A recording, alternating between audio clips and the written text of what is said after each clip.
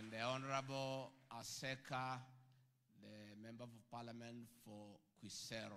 Pigeni Makofi. I've also seen the former Member of Parliament for Othaya, Mheshimiwa Mary Wambui.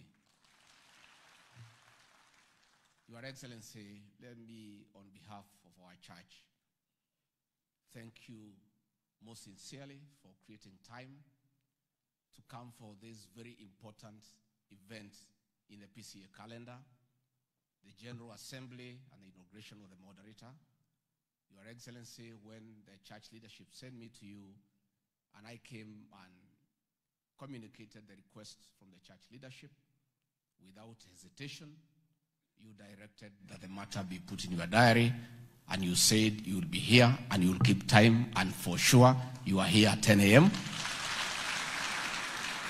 na inaonekana umeelewa sisi ni watu ya mtaratara, sababu hiyo kuweka masaa ni mambo muhimu sana katika kanisa hili. Your Excellency, let me also in a very special way thank you for the enormous contribution that you have made in your leadership to this church. Indeed, you have been to most of our churches across the country where you have not only attended service but participated in development activities, purchasing of buses, building sanctuaries, and supporting our church in a very strong manner. We don't take it for granted. We appreciate your enormous contribution to this church. And now that you did that before you became president, now that you are president and you have a bigger uh, mandate, uh, a bit large uh, facilitation, please continue supporting our church. And uh, you are always welcome to this church at any one time. Your Excellency, most of our members, indeed, the greatest percentage, we prayed for you. And it's true, we also turned up early to cast a vote in your favor. And uh, I want to say before my church that that decision we made, we have no regret because in a record one and a half years, despite the fact that you found many challenges in this country, you have turned around our economy and the economy has started showing great signs of recovery. The shilling has gained strength against the dollar.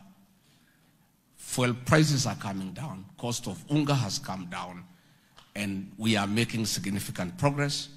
Ours as a church is to continue praying for you, is to continue supporting you. And it is good that uh, I give an example to this church as to where the president is coming from. When he took over, he found a country deep into debt. And he had to take time to sort out the debt issues before he can begin real tangible development. Let me give the example of a parish that has a huge arrears in cess. You know if you are parish minister and the headquarters withdraw the parish minister because of non-payment of cess and you are posted there. The first thing you do before you can begin any development in that parish is to figure out how to pay the, the cess that is i want to give you a very real example. That is the situation the president found in this country lazima angepigana na sesi kwanza. Ndio anze kupanga kujenga vestry. Si ndio? How he shall put tiles in the church. And how, how, how we even pay the parish minister. Lazima kwanza tulipe sesi kabla ya kulipa mshahara ya parish minister. So moderator with due respect i've heard you as the president to waive some of the taxes scrap some. Hata wewe hii ses angalia.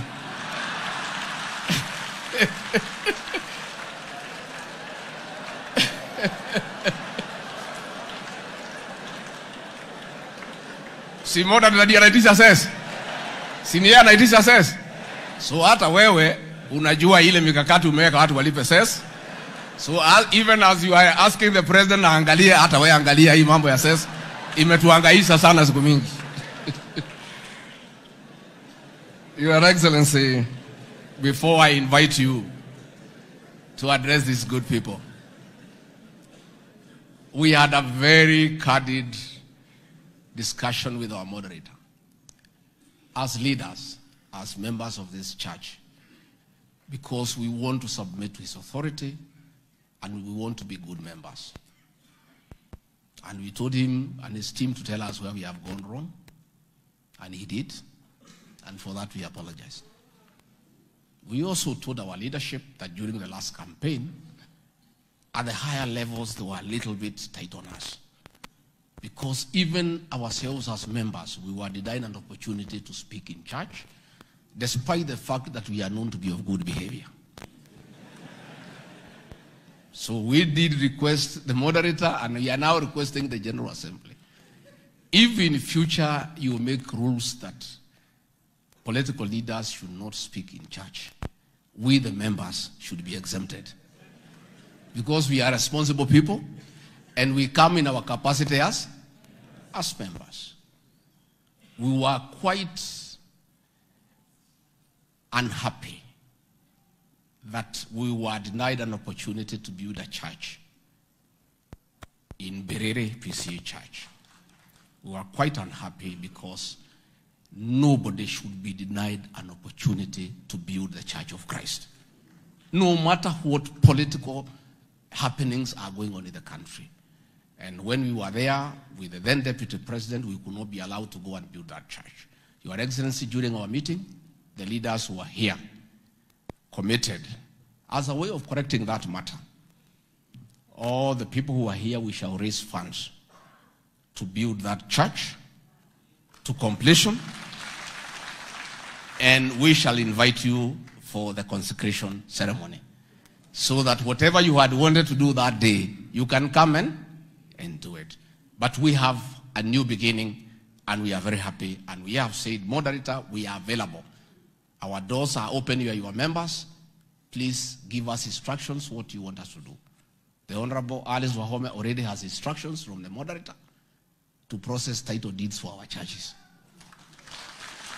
So whatever else you want us to do, we shall do.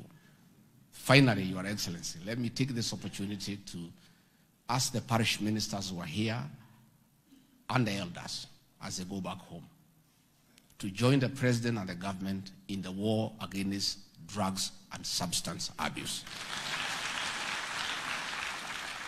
The president, in his wisdom and being a devout Christian, has given very clear instructions to the rest of us who work under him that he cannot agree when he is president our children to be killed by poison disguised as alcohol.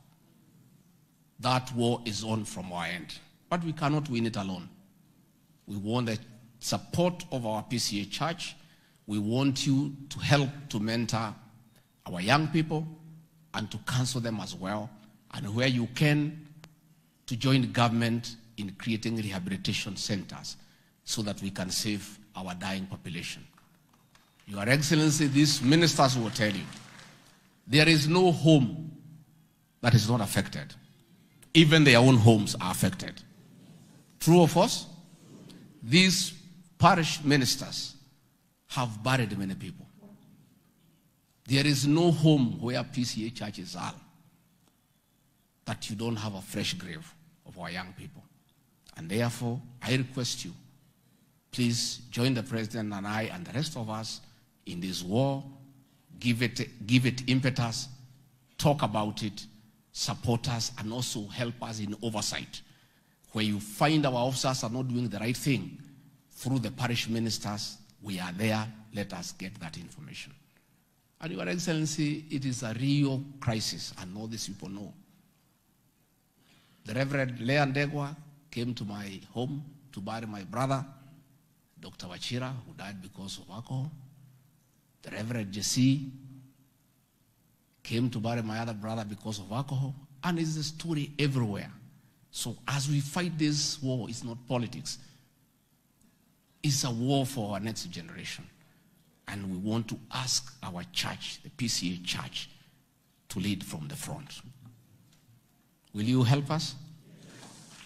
Will you help us? So rais, ndio nikualike, hii ni kanisa lako, kuje. You like singing? There is that song you used to sing with Reverend Kanya. If you feel like singing today, we'll join you.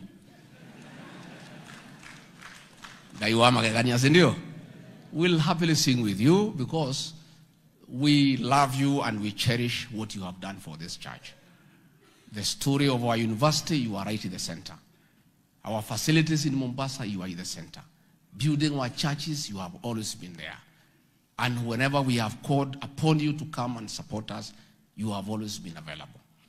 And more so for what you are doing for this country in terms of making sure that we have a secure country.